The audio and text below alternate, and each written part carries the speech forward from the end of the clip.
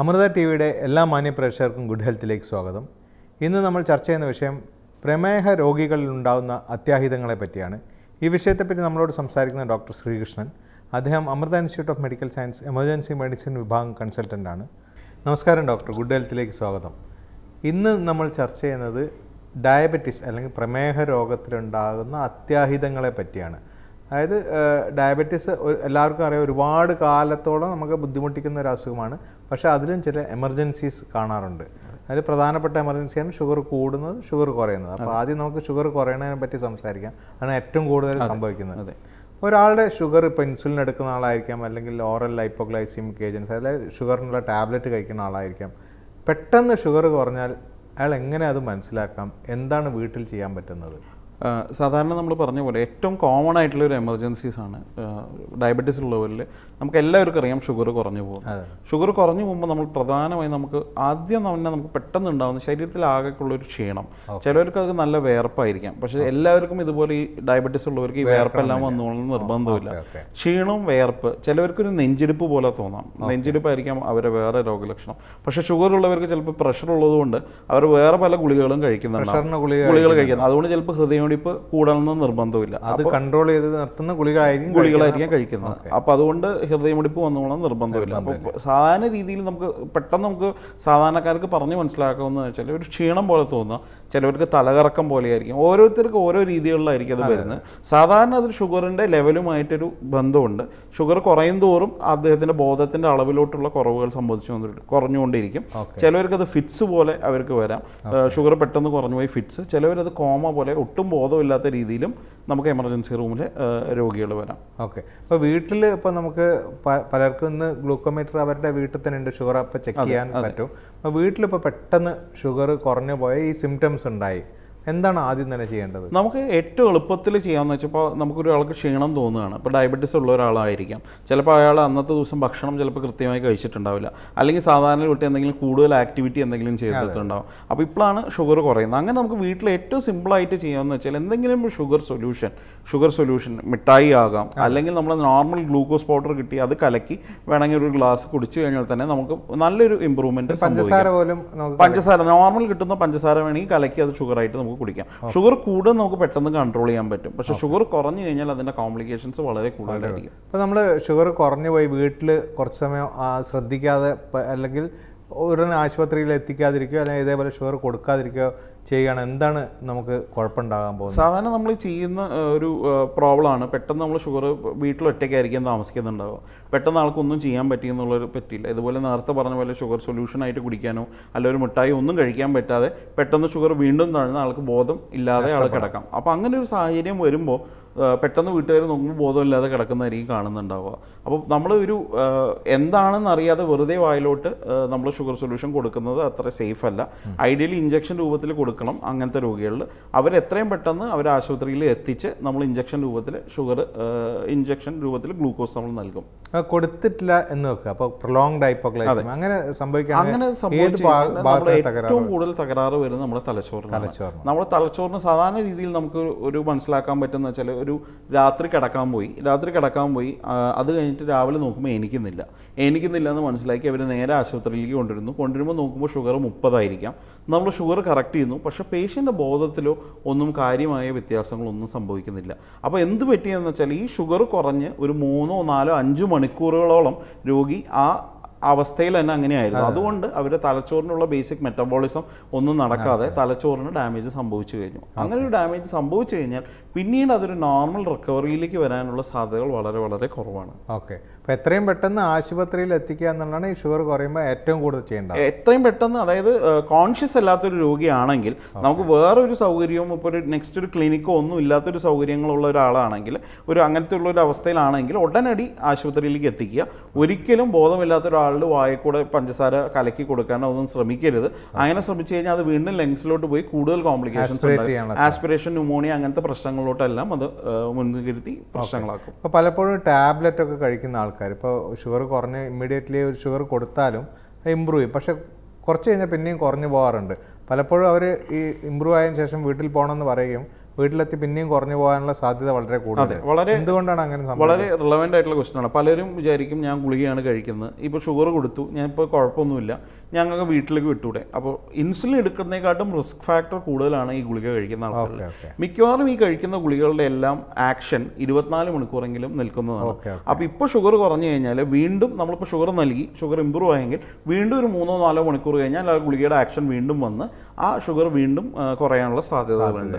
അത് എസ്പെഷ്യലി ഗ്ലൈമിപ്രൈഡ് ഡയോണിൽ എന്നെല്ലാം പറഞ്ഞ പേരിലുള്ള ഗുളികളാണ് കൂടുതൽ ഇങ്ങനത്തെ പ്രശ്നങ്ങൾ ഉണ്ടാക്കുന്നത്. ഉണ്ടാകും മറ്റൊരു ഇപ്പോൾ ഡയബറ്റീസിനെ പറ്റി സംസാരിക്കുന്ന സമയത്ത് ഡയബറ്റീസിലാണ് മറ്റൊരു ഇമ്പോർട്ടന്റ് ആയിട്ടുള്ള പ്രോബ്ലം ഷുഗർ കൂടിപ്പോകും പോകും സാധാരണ ഇപ്പോൾ ഷുഗർ മുന്നൂറും നാന്നൂറൊക്കെ പലർക്കും ഉണ്ടാവാറുണ്ട്. പക്ഷേ അതുകൊണ്ട് കോംപ്ലിക്കേഷൻ ഉണ്ടാവാറില്ല. പക്ഷേ പലപ്പോഴും ഇത് കൂടി നമ്മൾ കോമയിലേക്ക് പോകുന്ന അതായത് ബോധം നഷ്ടപ്പെടുന്ന അവസ്ഥകളുണ്ട് ഷുഗർ കൂടി. അതെ. അതെന്താണ് അങ്ങനെ ബോധം നഷ്ടപ്പെടുന്നത്? സാധാരണ നമ്മൾ ഇതേ നേരത്തെ പറഞ്ഞ പോലെ ഷുഗർ കുറഞ്ഞാലും അബോധാവസ്ഥയിലേക്ക് എത്താം.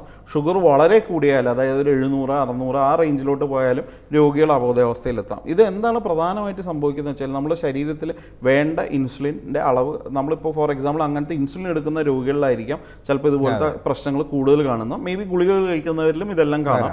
പക്ഷേ എന്താ സംഭവിക്കുന്നത് വെച്ചാൽ നമ്മുടെ ശരീരത്തിലെ വെള്ളം തീരെ നഷ്ടപ്പെട്ട് നമ്മുടെ ശരീരത്തിലെ ഓസ്മോളാരിറ്റി എന്ന് പറഞ്ഞ ഘടകം വളരെ കൂടി അത് ബ്രെയിനിനെ ബാധിച്ച് ഈ ഷുഗർ കൂടിയതെല്ലാം ബ്രെയിനിനെ ബാധിച്ച് ഇതേപോലെ അബോധാവസ്ഥയിലോട്ട് എത്തിച്ചേർക്കുന്നു. ഓക്കെ. അതിന് എന്താണ് അങ്ങനെ ആ അസുഖത്തിന്റെ പേരെന്താണ്? നമ്മൾ ഇതിന് മെയിൻലി രണ്ട് തരത്തിലുള്ള അസുഖങ്ങളാണ്. നമ്മളൊന്ന് ഡയബറ്റിക് കീറ്റോ അസിഡോസിസ് അവർക്ക് ആസിഡിന്റെ അളവും കൂടെ അതിന്റെ ഒപ്പം കൂടുതൽ ഉണ്ടെങ്കിൽ അവരെ നമ്മൾ ഡയബറ്റിക് കീറ്റോ അസിഡോസിസ് എന്ന് പറയുന്നു. രണ്ടാമത്തെ ഘടകമാണ് hyper osmolar ketotic non ketotic coma. Okay. ഈ രണ്ട് അസുഖത്തിലും ഇൻസുലിൻ കുറയുന്നു ഷുഗർ കൂടുന്നു. കൂടുന്നു. പക്ഷേ വെള്ളത്തിന്റെ അളവ് ഒരു പരിധിയിൽ കൂടുതൽ കുറവാണ്. നമ്മുടെ ശരീരത്തിന് ജീവിക്കാൻ വേണ്ടതിനെക്കാട്ടും വളരെ കുറഞ്ഞ കുറഞ്ഞു പോകുക എന്തുകൊണ്ടാണ് അങ്ങനെ വെള്ളം ശരീരത്തിൽ കുറഞ്ഞു പോകുന്നത്? സാധാരണ ഈ ഷുഗർ കൂടുന്തോറും ഷുഗർ ലൈക്ക് നമ്മളിപ്പോൾ ഒരു ഷുഗർ കൂടുന്നത് നമ്മൾ പല ഇഞ്ചക്ഷനുകൾ നമ്മൾ കേട്ടിട്ടുണ്ട്. ലാസിക്സ് ഒക്കെ ഇഞ്ചക്ഷൻ കേട്ടിട്ടുണ്ട്. ആ ഇഞ്ചക്ഷൻ എടുത്തു കഴിഞ്ഞാൽ പെട്ടെന്ന് മൂത്രം പോകും. അതേപോലെ തന്നെ ഒരു ഡയൂററ്റിക് ഏജന്റ് ആണ് ഈ ഗ്ലൂക്കോസ്. ഷുഗർ. ഈ ഷുഗർ. അപ്പോൾ ഈ ഷുഗർ കൂടുന്തോറും നമ്മൾ ഡയൂറസിസും കൂടുന്നു. അതേപോലെ നമ്മൾ സെല്ലിനകത്തുള്ള ഷുഗർ സെല്ലിനകത്തുള്ള വെള്ളത്തിനെല്ലാം പുറത്തുനിന്ന് പുറത്തു നിന്ന് അകത്തോട്ട് വലിച്ച് ഈ സെൽസിനകത്ത് ഡീഹൈഡ്രേഷൻസ് ഉണ്ടാക്കും. അപ്പോൾ അത് ഈ ഷുഗറിന്റെ ഒരു പ്രോപ്പർട്ടിയാണ് അപ്പോൾ ഷുഗർ കൂടുന്തോറും നമ്മുടെ ശരീരത്തിനകത്ത് ജലം നഷ്ടപ്പെട്ടുകൊണ്ടിരിക്കും. ഓക്കെ അപ്പോൾ പലപ്പോഴും പ്രായമായവരിലൊക്കെ ഇപ്പോൾ ഇൻസുലിൻ മിസ്സാവുന്നു വെള്ളം മര്യാദയ്ക്ക് കുടിക്കുന്നില്ല. അങ്ങനെയുള്ളവരിലൊക്കെ ഇങ്ങനെ സംഭവിക്കാനുള്ള സാധ്യത വളരെ വളരെ കൂടുതലാണ്. സാധാരണ ഇതിൽ ഏറ്റവും കോമൺലി നമ്മൾ എന്താണ് സംഭവിക്കുക വെച്ചാൽ മൂന്നോ നാലോ ദിവസങ്ങൾ കൃത്യമായി ഇൻസുലിൻ എടുക്കാതിരിക്കുക. അവർ പക്ഷേ എവിടെയെങ്കിലും ട്രാവലിന് എന്തെങ്കിലും പോയി കൃത്യമായി ഇൻസുലിൻ കഴിക്കാതിരിക്കും. അവരെന്താണ് പെട്ടെന്നൊരു ഛർദി അല്ലെങ്കിൽ പെട്ടെന്ന് ശ്വാസം മുട്ടൽ അങ്ങനത്തെ ഒരു ഇതിലായിരിക്കും അവർ ആശുപത്രിയിലോട്ട് വരിക.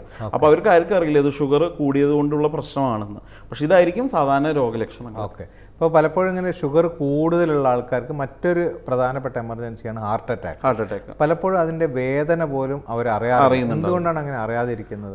സാധാരണ ഈ ഡയബറ്റീസിന്റെ എല്ലാ കോംപ്ലിക്കേഷൻസിലും ബേസിക്കലി അഫക്റ്റ് ചെയ്യുന്നത് നമ്മളെ എൻഡ് ഓർഗൻസിനെയാണ് അതായത് അറ്റത്തുള്ള ഓർഗൻസ് അതിൽ ഏറ്റവും ഇമ്പോർട്ടന്റ് ആയിട്ടുള്ള നമ്മുടെ രണ്ട് ഓർഗനാണ് ഒന്ന് രക്തക്കുഴലുകളും ഒന്ന് ഈ നരമ്പുകളും ഞരമ്പുകളും. ഈ ഞരമ്പുകളെ ബാധിക്കും തോറും നമുക്ക് ഏറ്റവും കോമൺ ആയിട്ട് രോഗികളിൽ വരാവുന്ന പ്രശ്നമാണ് കാലിലുള്ള കൈയും കാലിലുള്ള പെരുപ്പ് തെരുപ്പുള്ള പ്രശ്നങ്ങൾ അതേപോലെ ആ ഞരമ്പുകൾക്ക് ഹാർട്ടിനകത്തുള്ള ഞരമ്പുകൾ സപ്ലൈ ചെയ്യുന്ന ഞരമ്പുകളുണ്ട് അതിനകത്തും ഇതേ ന്യൂറോപ്പതി സംഭവിക്കാം. അപ്പോൾ അങ്ങനെ ഒരു സാഹചര്യത്തിൽ അവർ ചിലപ്പോൾ ഒരു ഗ്യാസിന്റെ ബുദ്ധിമുട്ടായിട്ടായിരിക്കാം. ചിലപ്പോൾ വരുന്നുണ്ടാവും. പക്ഷേ ഇ സി ജി എടുത്ത് നോക്കുമ്പോഴായിരിക്കും മേജർ ആയിട്ടുള്ള ഒരു ഹാർട്ട് അറ്റാക്ക് ആണ് അവർക്ക് സംഭവിച്ചിരിക്കുന്നത് അറിയാം. അപ്പോൾ ഡയബറ്റീസ് ഉള്ളവർക്ക് സാധാരണ പെയിൻ അറിയാനുള്ള ഒരു ശേഷി കുറവായിരിക്കും. കുറവായിരിക്കും. അതുകൊണ്ടാണ് ഈ പെയിൻ പെയിൻ ഇല്ലാതെ ഹാർട്ട് അറ്റാക്ക് അങ്ങനത്തെ പ്രശ്നങ്ങളെല്ലാം സംഭവിക്കുന്നത്. അപ്പോൾ എന്ത് ചെറിയ ഗ്യാസ് പോലെ തോന്നുന്നുണ്ടെങ്കിൽ പോലും ഒരു ഇ സി ജി എടുത്ത് എടുത്ത് നോക്കണതാണ് ഏറ്റവും സേഫ് നമ്മൾ റിസ്ക് എടുക്കേണ്ട ആവശ്യമില്ല. ഒരു ഹോസ്പിറ്റൽ ഏതൊരു ആശുപത്രിയിൽ ചെന്നാലും ഒരു ബേസിക് ആയിട്ട് ഒരു ഇ സി ജി എടുത്ത് നോക്കി കഴിഞ്ഞാൽ നമുക്ക് അറിയാൻ പറ്റും അത് എന്താണ് പ്രോബ്ലം ഉള്ളതാണോ അല്ലയോ എന്നുള്ളത്. ഓക്കെ ഓക്കെ മറ്റൊരു പ്രധാനപ്പെട്ട കോംപ്ലിക്കേഷനാണ് കണ്ണിന്റെ കാഴ്ച പെട്ടെന്ന് നഷ്ടപ്പെടും ഡയബറ്റിക് പേഷ്യൻസ് എന്തുകൊണ്ടാണ് അങ്ങനെ പെട്ടെന്ന്? ഇതേപോലെ നമ്മൾ നേരത്തെ സൂചിപ്പിച്ച പോലെ ഞാൻ പറഞ്ഞു രക്തക്കുഴലുകളിലാണ് നമ്മൾ ഡാമേജുകൾ മാക്സിമം സംഭവിക്കുന്നത്. അതേപോലെ നെക്സ്റ്റ് ആണ് റെറ്റീനയിലുള്ള രക്തക്കുഴലുകൾ. അതിനകത്ത് വീണ്ടും ഡയബറ്റിക് റെറ്റിനോപ്പതി എന്ന് പറഞ്ഞ കോംപ്ലിക്കേഷൻസിലോട്ട് പോകുന്നു. അതിന് പല പല കോംപ്ലിക്കേഷൻസ് പല പല സ്റ്റേജുകളുണ്ട് പക്ഷെ പക്ഷേ നമുക്കിവിടെ മെയിനായിട്ട് അറിയേണ്ടതെന്ന് വെച്ചാൽ അവർ പെട്ടെന്ന് ഒരു വിഷൻ നഷ്ടപ്പെട്ടു. അതായത് ഡയബറ്റിസ് കൺട്രോൾ അല്ലാതെ അവരെ കുറേ കാലങ്ങളായിട്ട് ട്രീറ്റ്മെന്റുകളൊന്നും ഒന്നും കൃത്യമായി എടുക്കാതെ പെട്ടെന്ന് അവർക്ക് വരുന്നത് പെട്ടെന്ന് ഞങ്ങളുടെ വിഷ്വൽ ലോസ് ഞങ്ങൾക്ക് കാണാൻ പറ്റുന്നില്ല. പെട്ടെന്ന് ഒരു പാട പോലെയാണ് നമുക്ക് കാണുന്നത്. പെട്ടെന്ന് diabetic retinopathy haemorrhages vitreous haemorrhages അങ്ങനെ പല പല കോംപ്ലിക്കേഷൻസ് ആയിട്ട് അവർ എമർജൻസി റൂമിലോട്ട് വരാം. ഇത് ചികിത്സിച്ച് ഭേദമാക്കാൻ പറ്റുന്ന തരം അസുഖങ്ങൾ ഇത് ഇപ്പോഴത്തെ നൂതന ചികിത്സകൾ റെറ്റിന പലതരം ചികിത്സകൾ വന്നത് കൊണ്ട് നമുക്ക് ഇതിനെല്ലാം ഇപ്പോൾ ചികിത്സ അവൈലബിൾ ആണ്. പക്ഷേ പഴയ പോലത്തെ കാഴ്ച തിരിച്ചു വരുമോ എന്ന് ചോദിച്ചു കഴിഞ്ഞാൽ അത് ആളുടെ അസുഖത്തിന്റെ വ്യാപ്തി അനുസരിച്ച് അനുസരിച്ച്. മറ്റൊരു പ്രധാനപ്പെട്ട പ്രോബ്ലമാണ് ഈ ആൾക്കാരിൽ ഈ ഒരുപാട് കാലം ഡയബറ്റീസ് ഉള്ള ആൾക്കാർ കാണുന്ന ഇൻഫെക്ഷൻ അതിൽ ഏറ്റവും കൂടുതൽ കാണുന്നത് യൂറിനറി ഇൻഫെക്ഷൻ യൂറിനറി ഇൻഫെക്ഷൻ എങ്ങനെയാണ് യൂറിനറി ഇൻഫെക്ഷൻ ഇവരിൽ ഏറ്റവും കൂടുതൽ കാണപ്പെടുന്നതും? അത് എന്ത് എങ്ങനെയാണ് പ്രസന്റ് ചെയ്യുന്നത്? സാധാരണ നമുക്ക് യൂറിനറി ഇൻഫെക്ഷൻ ഒരു ഡയബറ്റീസിൽ രോഗിയിലുള്ള വരുന്ന യൂറിനറി ഇൻഫെക്ഷൻ ബേസിക്കലി അവർക്ക് ഒരു ചിലപ്പോൾ ഒരു ഛർദി ആയിരിക്കാം. അല്ലെങ്കിൽ അടിവയറ്റിലോട്ടുള്ള ഒരു ചെറിയൊരു വേദന. അല്ലെങ്കിൽ മൂത്രത്തിന്റെ കണ്ടിന്യൂസ് ആയിട്ട് അതായത് മൂന്നോ നാലോ പ്രാവശ്യം കണ്ടിന്യൂസ് ആയിട്ട് മൂത്രം പോയിക്കൊണ്ടേയിരിക്കുന്നത് ഇപ്പോൾ നമ്മൾ ഒരു പ്രാവശ്യം മൂത്രം ഒഴിച്ചാലും വീണ്ടും വീണ്ടും മൾട്ടിപ്പിൾ ഫ്രീക്വൻസി സാധാരണ നമ്മൾ രണ്ട് പ്രാവശ്യം ഒഴിക്കുന്ന സാഹചര്യത്തിൽ ഒരു ഏഴോ എട്ടോ പ്രാവശ്യം മൂത്രം ഒഴിക്കേണ്ടി വരിക മൂത്രം ഒഴിക്കുമ്പോൾ ചുടിയെടുപ്പ് സാധാരണ ഡയബറ്റിക് രോഗികളിൽ കാണണമെന്നില്ല പക്ഷെ അതിന് പകരം പനി ചിലപ്പോൾ വരാം. പനി വിറയൽ കിടുങ്ങൽ ഇതായിരിക്കും സാധാരണ രോഗലക്ഷണങ്ങൾ. ഓക്കെ. പലപ്പോഴും ബാക്ക് പെയിൻ ഒരു നടുവേദനയായിട്ടും രോഗികൾ വരാം നടുവേദന നടുവേദന അടിവയറ്റിനുള്ള വേദന പനി വിറയലോട് കൂടിയുള്ള പനി മൂത്രം ഒഴിക്കുമ്പോൾ ചുടിയെടുപ്പ് മൂത്രത്തിന്റെ ഫ്രീക്വൻസിയിലുള്ള ഇൻക്രീസ് ഇതെല്ലാമാണ് സാധാരണ പലപ്പോഴും ഡോക്ടർമാർ ഇങ്ങനെയുള്ള ആൾക്കാരുടെ യൂറിൻ കൾച്ചർ ചെയ്യണമെന്ന് പറയാറുണ്ട്. എന്തിനാണ് അങ്ങനെ കൾച്ചർ ചെയ്യുന്നത്? സാധാരണ യൂറിൻ കൾച്ചർ നമുക്ക് രണ്ട് ടെസ്റ്റുകളാണ് യൂറിനിൽ നമ്മൾ സാധാരണ ചെയ്യുക. ഒന്ന് യൂറിൻ റൊട്ടീൻ എക്സാമിനേഷൻ നമുക്കൊരു രണ്ടോ മൂന്നോ മണിക്കൂറുകളുണ്ട് അതിൽ എത്ര അണുബാധകൾ എത്ര പഴുപ്പുണ്ടോ പഴുപ്പില്ലയോ എന്ന് മാത്രമേ നമുക്ക് അറിയാൻ പറ്റുള്ളൂ. പക്ഷേ യൂറിൻ കൾച്ചർ ചെയ്താൽ മാത്രമാണ് അത് വൈറസ് ആണോ ബാക്ടീരിയ ആണോ അത് ബാക്ടീരിയ ആണെങ്കിൽ അത് ഏത് ബാക്ടീരിയ ആണ് അത് ഏത് ബാക്ടീരിയ ഏത് ആന്റിബയോട്ടിക്കിനോട് എങ്ങനെയാണ് പ്രതികരിക്കുന്നത് എന്നുള്ള എല്ലാം സെൻസിറ്റിവിറ്റി എല്ലാം കിട്ടും. നമ്മൾ ബ്ലൈൻഡ് ആയിട്ട് ഇപ്പോൾ ഒരു ആന്റിബയോട്ടിക് സ്റ്റാർട്ട് ചെയ്ത് വിട്ട് കഴിഞ്ഞാൽ ചിലപ്പോൾ അത് സെൻസിറ്റീവ് ആയിക്കോളണം നിർബന്ധമില്ല. ചിലപ്പോൾ മൂന്ന് ദിവസം കഴിഞ്ഞിട്ട് അവർക്ക് പനി ഇതെല്ലാം മാറിക്കോളണം എന്ന് നിർബന്ധമില്ല. അപ്പോൾ യൂഷ്വലി ഈ കൾച്ചർ ആൻഡ് സെൻസിറ്റിവിറ്റിക്ക് മൂന്ന് ദിവസം എടുക്കും നമുക്ക് റിസൾട്ട് കിട്ടാൻ വേണ്ടിയിട്ട്. അപ്പോൾ നമ്മൾ ഇനീഷ്യലി ഇപ്പോൾ എമർജൻസി റൂമിൽ വരുമ്പോൾ ഇവർക്ക് യൂറിനറി ഇൻഫെക്ഷൻ ആണെങ്കിൽ നമ്മൾ അവരെ യൂറിൻ എടുത്ത് കൾച്ചർ ചെയ്യാൻ കൊടുത്ത് യൂറിൻ റൊട്ടീൻ എടുത്ത് യൂറിൻ കൾച്ചർ ചെയ്യാൻ കൊടുത്ത് ഒരു ബേസിക്കലി ഒരു ആന്റിബയോട്ടിക് നമ്മൾ സ്റ്റാർട്ട് ചെയ്യും. അത് സ്റ്റാർട്ട് ചെയ്ത് നമ്മൾ ആ പേഷ്യന്റ് അഡ്മിറ്റ് ആവുന്നുണ്ടാവും. അല്ലെങ്കിൽ അവർ ഒ പി വൈസ് ആയിരിക്കും പിന്നെ ഫോളോ അപ്പ് ചെയ്യുന്നുണ്ടാവില്ല. മൂന്ന് ദിവസം കഴിഞ്ഞ് അവർ തിരിച്ചു വരാൻ പറയും. മൂന്ന് ദിവസം കഴിഞ്ഞ് തിരിച്ചു വരുമ്പോഴായിരിക്കും ആ കൾച്ചർ ആൻഡ് സെൻസിറ്റി റിപ്പോർട്ട് നമുക്ക് കിട്ടുന്നത്. അതനുസരിച്ചുള്ള ആന്റിബയോട്ടിക്കിന്റെ ചേഞ്ചസ് എല്ലാം നമ്മൾ വരുത്തും. ഓക്കെ മറ്റൊരു പ്രധാനപ്പെട്ട കോംപ്ലിക്കേഷനാണ് സ്ട്രോക്ക് സാധാരണ അല്ല പലർക്കും സ്ട്രോക്ക് ഉണ്ടാവും. അപ്പോൾ ഷുഗർ ഉള്ളവർക്കുണ്ടാവും പ്രഷർ ഉള്ളവർക്കുണ്ടാവും. മറ്റ് അസുഖങ്ങളുള്ളവർക്കുണ്ടാവും. പക്ഷേ ഡയബറ്റീസിൽ സ്ട്രോക്കിന്റെ അളവ് വളരെ കൂടുതലാണ്. വളരെ കൂടുതലാണ് എന്തുകൊണ്ടാണ് അങ്ങനെ സ്ട്രോക്ക് എഗെയിൻ ഡയബറ്റീസ് ആണ് നമ്മൾ ഈ ഏത് സ്ട്രോക്ക് ഒരു മേജർ റിസ്ക് ഫാക്ടർ എന്ന് പറഞ്ഞാൽ അത്തറോസ്ക്ലോറോസിസ് എന്ന് പറയും. അതായത് രക്തക്കുഴലിനകത്ത് കൊഴുപ്പടിഞ്ഞു കൂടുക. അപ്പോൾ അതിന്റെ മേജർ ഒരു റിസ്ക് ഫാക്ടറാണ് ഡയബറ്റീസ്. അപ്പോൾ ഈ ഡയബറ്റീസ് ഉള്ളത് നേരത്തെ ഏത് രക്തക്കുഴലിനെ അഫക്റ്റ് ചെയ്യാൻ ഞാൻ പറഞ്ഞു. അതേപോലെ തലച്ചോറിലോട്ടുള്ള രക്തക്കുഴലിനെ ഡയബറ്റീസ് ഉള്ളവർക്ക് കൂടുതൽ ആയി ബാധിക്കുന്നുണ്ട്. അതുകൊണ്ട് അവർക്കുള്ള സ്ട്രോക്കിനുള്ള റിസ്ക് ഫാക്ടറും വളരെ കൂടുതലാണ്. വളരെ കൂടുതലാണ്. അപ്പോൾ സ്ട്രോക്ക് സാധാരണ പ്രസന്റ് ചെയ്യുന്ന ഫീച്ചേഴ്സ് എന്തൊക്കെയാണ്? സാധാരണ നമുക്ക് സ്ട്രോക്ക് എന്ന് കേട്ട് കഴിഞ്ഞാൽ നമുക്ക് എല്ലാവർക്കും അറിയാം ഒരു പക്ഷാഘാതം ഒരു സൈഡ് തളർച്ച. അതായിരിക്കാം ഒരു തരത്തിൽ. പക്ഷെ വേറെ ചിലവർക്ക് അത് പെട്ടെന്ന് നടക്കാനുള്ള ബുദ്ധിമുട്ടായിരിക്കാം. അല്ലെങ്കിൽ ഷർട്ടിന്റെ ബട്ടൺസ് എല്ലാം കൃത്യമായി ഇടാൻ പറ്റുന്നില്ല. അല്ലെങ്കിൽ പെട്ടെന്ന് ഒരു ഓർമ്മക്കുറവ് എന്തെങ്കിലും സംഭവിച്ചു. അല്ലെങ്കിൽ അവർക്ക് വേറെ വരുന്ന ബുദ്ധിമുട്ട് കാഴ്ചയിൽ ഉണ്ടാവുന്ന വ്യത്യാസം പെട്ടെന്ന് രണ്ടായി കാണുന്നു. ഇതെല്ലാം ആയിരിക്കാം സാധാരണ സ്ട്രോക്കിന്റെ ലക്ഷണം പക്ഷെ സ്റ്റാൻഡേർഡ് ആയിട്ട് നമ്മൾ പറയുമ്പോൾ നമുക്ക് സ്ട്രോക്കിന്റെ ലക്ഷണം വെച്ചാൽ ഒരു ഭാഗത്തുള്ള തളർച്ച മുഖത്ത് ഒരു സൈഡ് കോണി പോവുക ശബ്ദത്തിനോട്ട് സംസാരിക്കാനുള്ള ബുദ്ധിമുട്ട്. ഓക്കെ. ഇതൊക്കെയാണ് ഇതൊക്കെയാണ് സ്ട്രോക്കിന്റെ രോഗലക്ഷണം പലപ്പോഴും ഇങ്ങനെ ഡയബറ്റീസ് ഉള്ള ആൾക്കാർക്ക് ഒരുപാട് ഇൻഫെക്ഷൻ ഒക്കെ കാണാറുണ്ട്. ന്യൂമോണിയ വളരെ വളരെ കോമൺ ആണ് അതെ. ന്യൂമോണിയയുടെ സിംറ്റംസ് എന്തൊക്കെയാണ്? നമ്മൾ ന്യൂമോണിയ നേരത്തെ പറഞ്ഞ പോലെ ന്യൂമോണിയയിൽ നമ്മൾ ഏറ്റവും കോമൺലി നമ്മൾ ഈ ഡയബറ്റീസ് ഉള്ളവർക്ക് വൺ ഓഫ് ദ കോമൺ ഇൻവെസ്റ്റി ഇൻഫെക്ഷൻ പറഞ്ഞ ഒന്ന് ന്യൂമോണിയം പിന്നെ കാലിനകത്ത് വരുന്ന ഇൻഫെക്ഷൻസ് സെല്ലുലൈറ്റിസ് ആണ്. അപ്പോൾ ന്യൂമോണിയ ബേസിക്കലി നമുക്ക് ഏറ്റവും കോമൺ ആയിട്ട് അറിയാം ലങ്സിനകത്തുള്ള ഇൻഫെക്ഷൻ ആണ്. അപ്പോൾ നമുക്ക് പനി എനി ഇൻഫെക്ഷൻ നമുക്ക് പനി ഉണ്ടാവും. അതിന്റെ ഒപ്പം വിട്ടുമാറാത്ത ചുമ അതിന്റെ ഒപ്പമുള്ള മഞ്ഞ നിറത്തിലുള്ള കഫം. ഇതാണ് സാധാരണ ബാക്ടീരിയൽ അണുബാധയുടെ ന്യൂമോണിയയുടെ രോഗലക്ഷണങ്ങൾ ഓക്കെ. നമുക്ക് കാലിനകത്തുള്ള ഇൻഫെക്ഷൻ വളരെ കോമൺ ആയിട്ട്. എന്തുകൊണ്ടാണ് അങ്ങനെ ഇൻഫെക്ഷൻ അവിടെ മാത്രം വരുന്നത്? സാധാരണ നമുക്കറിയാം നമുക്ക് ഇപ്പോൾ ഈ ഡയബറ്റീസ് ഉള്ളവർക്ക് മൊത്തം അവർക്ക് സ്കിന്നിനും ഡ്രൈനെസ്സിനും ഉള്ള സാധ്യതകൾ കൂടുതലാണ്. മേ ബി അതിനകത്തുള്ളവർക്ക് പ്രോപ്പർ കെയർ ചിലപ്പോൾ കിട്ടിക്കോളണം നിർബന്ധമില്ല. അവരുടെ നെയിലിന്റെ കെയർ കൂടെ പ്രോപ്പർ ആയിരിക്കണം എന്ന് നിർബന്ധമില്ല. പിന്നെ ഇങ്ങനെ ഡ്രൈനെസ് ഒക്കെ വരുമ്പോൾ അവർ അറിയാതെ ഒന്ന് ചൊറിയും. അത് ചൊറിയുമ്പോൾ എന്ത് പറ്റുന്ന വെച്ചാൽ അവിടെ ചെറിയ സ്കിന്നിനകത്ത് ഒരു പൊട്ടലുണ്ടാവാം ആ പൊട്ടലിൽ നിന്നാണ് ബേസിക്കലി ഇൻഫെക്ഷൻ ഉണ്ടാവുക. അല്ലെങ്കിൽ ചെറുതായിട്ട് എവിടെയെങ്കിലും ഒന്ന് തട്ടി ചെറുതായിട്ടൊന്ന് മുറി മുറിഞ്ഞു. ഈ ഡയബറ്റീസ് ഉള്ളവർക്ക് അവർക്ക് ഷുഗർ കൺട്രോൾ അല്ലെങ്കിൽ ആ ഇൻഫെക്ഷൻ വളരെ കൂടി കൂടി പെട്ടെന്ന് അവർ ലൈഫ് ത്രെറ്റനിങ് കോംപ്ലിക്കേഷനായ സെപ്സിസ് പോലത്തെ വലിയ വലിയ പ്രശ്നങ്ങളിലോട്ട് അവർക്ക് എത്താൻ സാധ്യതകളുണ്ട്. ഇപ്പോൾ ഡയബറ്റീസ് ഉള്ള ആൾക്കാർക്ക് മൂക്കിനകത്ത് ഫംഗൽ ഇൻഫെക്ഷൻ വന്ന് ബ്രെയിനിനകത്തേക്കൊക്കെ എക്സ്റ്റെൻഡ് ചെയ്യാറുണ്ട്. അതെന്താണ് അങ്ങനെ ഈ സംഭവിക്കുന്നത് ഡയബറ്റീസ് വന്നു കഴിഞ്ഞാൽ നമ്മൾ ഡയബറ്റീസ് കൺട്രോൾ അല്ലെങ്കിൽ നമ്മുടെ പ്രതിരോധ ശേഷിയാണ് നഷ്ടപ്പെടുന്നത്. അപ്പോൾ നമ്മുടെ പ്രതിരോധ ശേഷി നഷ്ടപ്പെട്ട് കഴിഞ്ഞാൽ ഇതേപോലെ ഫംഗസ് അണുബാധയ്ക്കുള്ള സാധ്യതകൾ വളരെ വളരെ കൂടുതലാണ്. അതിൽ ഏറ്റവും കോമൺ ആയിട്ടുള്ളതാണ് മൂക്കിൽ നിന്ന് ഒരു ഫംഗസ് നമ്മുടെ സൈനസിൽ നിന്നെല്ലാം ഒരു ഫംഗസ് അണുബാധ വന്ന്. ഈ സൈനസും ബ്രെയിനും വളരെ ക്ലോസ് പ്രോക്സിമിറ്റിയിലാണ് അപ്പോൾ ഇവിടുന്ന് പതുക്കെ അത് ഇൻഫിൽട്രേറ്റ് ചെയ്ത് ബ്രെയിനിലോട്ട് പോയി കൂടുതൽ കോംപ്ലിക്കേഷൻസ് ഉണ്ട് മ്യൂക്കർ മൈക്കോസിസ് മ്യൂക്കോർ മൈക്കോസിസ് എന്ന് പറഞ്ഞ അസുഖത്തിലോട്ട് വരുത്തി തീർക്കും. ഓക്കെ. അപ്പം നമുക്ക് ഒരുപാട് കാരണം ഒരുപാട് കാലം ഡയബറ്റീസ് ഉള്ള ഒരാൾക്കാർക്ക് കിഡ്നിയിൽ തകരാറുണ്ടാകാനും അതിനോടനുബന്ധിച്ച കോംപ്ലിക്കേഷൻ ഉണ്ടാകാനും സാധ്യത വളരെ കൂടുതലാണ്. ആ കോംപ്ലിക്കേഷൻസ് എന്തൊക്കെയാണ്? ഇപ്പോൾ നമുക്ക് കിഡ്നിയിൽ സാധാരണ ഇനീഷ്യൽ സ്റ്റേജസ് എന്ന് പറയുകയാണെങ്കിൽ നമുക്ക് ചെറുതായിട്ട് പ്രോട്ടീൻ നഷ്ടപ്പെട്ടു തുടങ്ങുന്നു. യൂറിനിലൂടെ പ്രോട്ടീൻ നഷ്ടപ്പെട്ടു തുടങ്ങുന്നു.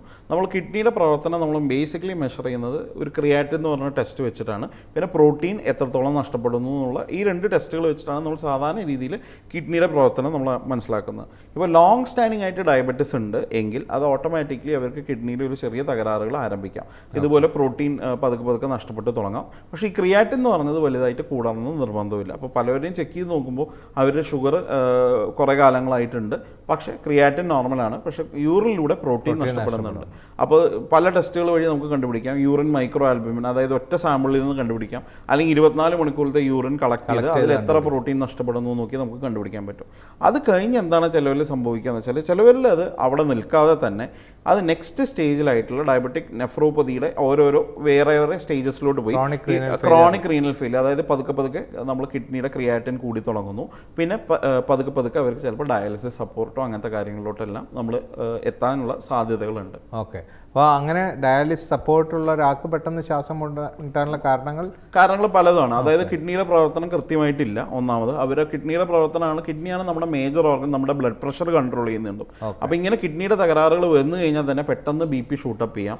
അങ്ങനെ ബി പി ഷൂട്ടപ്പ് ചെയ്ത് പെട്ടെന്ന് അവർക്ക് ലങ്സിലെല്ലാം വെള്ളം കെട്ട് വന്ന് പെട്ടെന്ന് ശ്വാസം മുട്ടായിട്ട് വരാം. അപ്പോൾ ഡയബറ്റിസ് ആയിരിക്കാം ഫസ്റ്റ് ഡയബറ്റിസിൽ നിന്ന് എന്ത് തരം കോംപ്ലിക്കേഷൻസ് വന്ന് അവർ പല രീതിയിൽ നമ്മുടെ എമർജൻസി റൂമിൽ വരാറുണ്ട്. ഓക്കെ അപ്പോൾ ഇത് ഡയബറ്റീസ് ഉള്ള ഒരാൾക്ക് ഏറ്റവും ബുദ്ധിമുട്ടുണ്ടാക്കുന്ന ഒരു കാര്യമാണ് അതിന്റെ കൂടെ ആൽക്കഹോൾ കൂടെ ഉണ്ടെങ്കിൽ. അങ്ങനെ ആൽക്കഹോളും ഡയബറ്റീസും കൂടിച്ചേരുമ്പോൾ ഉണ്ടാകുന്ന വലിയ വലിയ കോംപ്ലിക്കേഷൻസ് അതായത് നേരത്തെ നമ്മൾ പറഞ്ഞ പോലെ ഡയബറ്റിസ് എഗെയിൻ ഷുഗർ കൂടുന്നതാണ്. അപ്പോൾ ആൽക്കഹോൾ എഗെയിൻ നമ്മളിത് കഴിക്കുമ്പോൾ വീണ്ടും അവരിലുള്ള വീണ്ടും ഷുഗറിന്റെ ലെവൽ കണ്ടമാനം കൂടാൻ പോവുകയാണ്. അപ്പോൾ അങ്ങനെ അത് മാത്രമല്ലാതെ തന്നെ ഈ ഡയ ഷുഗർ കൂടുമ്പോൾ തന്നെ ഇത് ഡയോറിസിസ് സംഭവിക്കും. അതായത് മൂത്രം ധാരാളം പോകും. മദ്യം കൂടെ ഉപയോഗിച്ചാൽ അതും ഇതേപോലെ യൂറിൻ കളയുന്ന എസ്പെഷ്യലി ബീർ പോലത്തെ ഒക്കെ കുടിക്കുകയാണെങ്കിൽ ഇതിന്റെ ഒപ്പം വീണ്ടും യൂറിൻ വളരെയധികം നഷ്ടപ്പെടും. അപ്പോൾ ഇതെല്ലാം ശരീരത്തിനകത്തുള്ള വെള്ളം നഷ്ടപ്പെടുത്തുകയാണ്. അപ്പോൾ ഓൾറെഡി നമുക്ക് ലിവറിന് ചിലപ്പോൾ മദ്യപാനം കാരണം ലിവറിന് തകരാറുണ്ടാവും. അപ്പോൾ ലിവറിന് തകരാറുണ്ടാവും വീണ്ടും ഡയബറ്റിസ് ഉണ്ട്. ഇതെല്ലാം കൂടി കോംപ്ലിക്കേഷൻസ് നമ്മൾ നേരത്തെ ഡയബറ്റീസിന്റെ കോംപ്ലിക്കേഷൻ സാധാരണ ഒരാളിൽ കാണുന്നതിലും നാലിരട്ടി അഞ്ചിരട്ടി കോംപ്ലിക്കേഷൻസ് കൂടുതലായിരിക്കും മദ്യപാനവും ഡയബറ്റിസും കൂടി വരുമ്പോൾ നമ്മൾ കാണുന്നത്. ഓക്കെ. മറ്റൊരു പ്രധാനപ്പെട്ട പ്രോബ്ലമാണ് ഇപ്പോൾ സെല്ലുലൈറ്റിസ്. കൈക്കോ കാലിനൊക്കെ വീങ്ങി വരികയും ചുവപ്പ് നിറവും ഇൻഫെക്ഷൻ വരികയും ചെയ്യുന്നത്.